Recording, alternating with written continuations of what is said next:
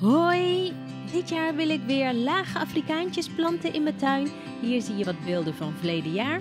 Ehm, ik wil het dit jaar ook hebben, eh, zowel in mijn achtertuin als in mijn voortuin. En ik wil ook nog wat bloempotten gaan, eh, in bloempotten gaan planten dit jaar. De lage Afrikaantjes zijn echt mooie langbloeiers, bloeien enorm lang in je tuin. Ze hebben bij mij uh, afgelopen jaar gebloeid vanaf mei tot en met wanneer het begon met vriezen. En ehm, vandaar dat ik er zoveel nu wil hebben in mijn tuin. Om ervoor te zorgen dat ze heel erg lang bloeien en ook heel mooi in bloei staan, haal ik de uitgebloeide bloemen weg. Zoals je hier kan zien, de bloemen die klaar zijn met bloeien, die er niet meer zo mooi uitzien, die trek ik er gewoon uit. Wel laat ik er altijd een paar staan. Die laat ik ook helemaal uitdrogen. En als ze helemaal uitgedroogd zijn, dan eh, zoek ik ze op. En dan haal ik ze eruit en ik bewaar ze.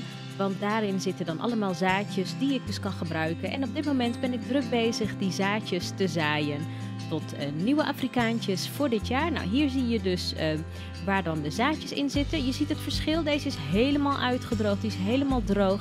Nou, en die heb ik dan dus binnen bewaard. En um, daar ga ik dus nu mee aan de slag.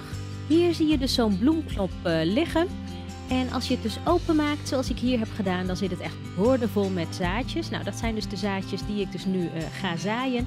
Eén zo'n zaadje van een laag Afrikaantje, die ziet er zo uit omdat ik niet zeker ben van uh, de kwaliteit van deze zaadjes en dus niet alle zaadjes uh, ook helemaal gaan uitkomen, heb ik dus een plastic bakje gepakt en die heb ik gevuld met wc-papier. Wc-papier heb ik gewoon helemaal nat gemaakt en daar heb ik dan dus lage Afrikaantjes en zaadjes overheen gedaan, zoals je hier kan zien.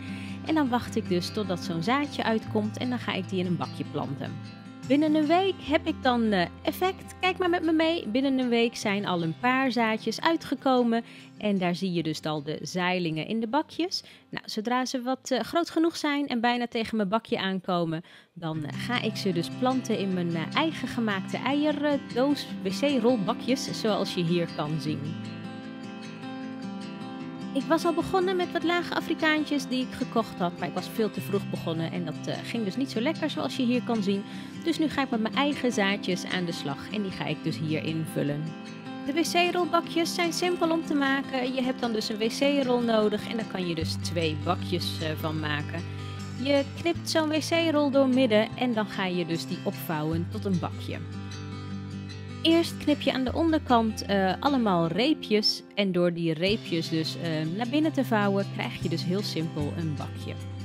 Daarna ga je je bakje vullen met uh, wat aarde en dan heb je dus eigenlijk al je eigen gemaakte bakjes klaar. Alleen nog een lege eierdoos om alle bakjes in te houden en je kan dus zo aan de slag. Kijk, je kan hier een beetje met me meekijken. Je ziet dus dat er al het een en ander is uitgekomen, dus het gaan kiemen. Niet allemaal, dus vandaar dat ik dit ook zo veel prettiger vind. Want dan zit ik dus niet met bakjes waar dus niks uit gaat komen omdat het kiemes mislukt is. Maar dan zit ik straks met bakjes waar er uh, alleen nog maar echte kiemplantjes in zitten. Heel voorzichtig, heel voorzichtig knip ik dus stukjes wc-papier uit waar dus zo'n plantje uitgekiemd is. Zodat ik dus niet per ongeluk aan de wortels ga trekken en de wortels beschadig. Nou, ik probeer hem dus zoveel mogelijk aan de groene blaadjes of bovenaan de steel vast te houden. En dan ga ik voorzichtig proberen om uh, ja, het papier, dus niet de wortels uh, aan te raken, maar gewoon het papier naar beneden te duwen, zodat ik het plantje op zijn plek krijg. En dan uh, met aarde bedekken. En dan kan ik dus verder voor het plantje zorgen. Hier zie je hoe het er op dit moment aan toe gaat met mijn plantjes. Hier zie je mijn grootste plantjes die hebben dus uh, het, uh, zich het best ontwikkeld. Nou, uh, wat is het verschil tussen deze twee plantjes en de andere plantjes, laag Afrikaantjes, die je hierachter kan zien? Heel simpel. Ik heb deze eigenlijk gelijk vanuit zaadje in een grote pot gedaan. En daardoor hebben ze dus meer ruimte gehad en konden ze zich dus beter ontwikkelen. Hier zie je de plantjes die ik dus eerst in de wc-rolbakjes heb gedaan je ziet dus ook dat die echt een heel stuk kleiner zijn. Die hebben minder ruimte, dus die kunnen zich uh, minder uh, groot ontwikkelen, zoals in de grote potten.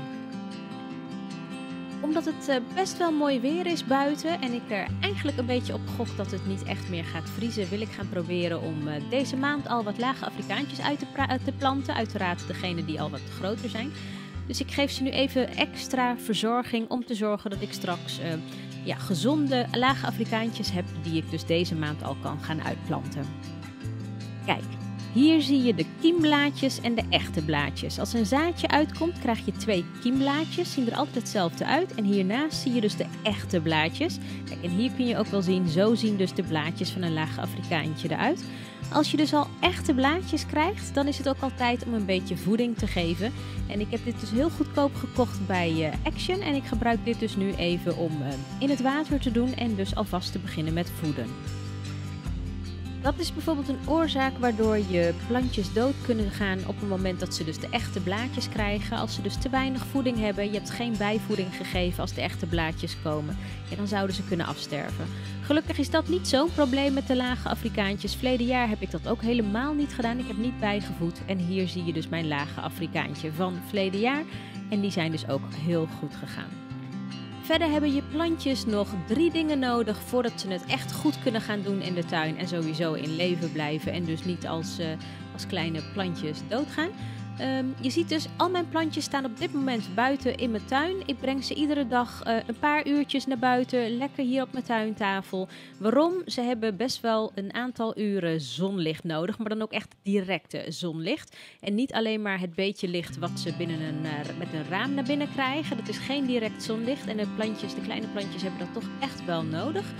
Dus um, ik probeer ze hier gewoon ook lekker in de zon te plaatsen. Uh, daarnaast moeten de plantjes ook een beetje de beweging van uh, wind voelen. Want anders dan uh, worden ze eigenlijk heel erg uh, groot, maar slap. En hangen ze eigenlijk slap. En heb je van die ile plantjes. Kijk, hier zie je ze lekker bewegen door alle wind. Nou, dit is dus ook echt wat ze dan nodig hebben. Plus, voordat je ze buiten plant, is het eigenlijk wel fijn als je ze een week lang een paar uurtjes buiten zet. Iedere keer, zodat ze kunnen wennen aan de buitenlucht, aan de temperatuur. Zodat ze niet in de stress schieten. Als je ze van de ene dag op de andere buiten in de tuin plant, dan heb je anders kans dat ze gewoon doodgaan. Hier hoop ik dus op. Dit zijn beelden van verleden jaar. Twee van mijn plantjes zijn al bijna zover, dus die ga ik dan ook over een week alvast in de tuin planten. Hier zie je dat ik al een bloemknopje heb. Ik moet zeggen, zolang ik ze nog niet buiten in de tuin plaats, laat ik ze nog geen bloemknopjes krijgen en ontwikkelen. Ik heb vandaag dan ook twee bloemknopjes weggetrokken van uh, mijn lage Afrikaantjes. Want anders gaat alle energie naar het bloeien van die bloemknopjes. En dat is dus niet wat ik wil. Ik wil dat alle energie gaat naar het uh, groot en sterk worden van de plant. Dat klinkt misschien een beetje zielig, maar dat is het echt niet. Het is gewoon echt beter om pas je plant bloemen te laten krijgen als die buiten in de tuin staat en in de beste uh, uh, omgeving om je straks te kunnen belonen met heel veel mooie bloemen. Ik hoop dat ik jullie genoeg heb laten zien over de lage Afrikaantjes. Ik ben benieuwd met welke planten gaan jullie dit jaar aan de slag in jullie tuin. Laat het me maar hieronder weten in de reacties.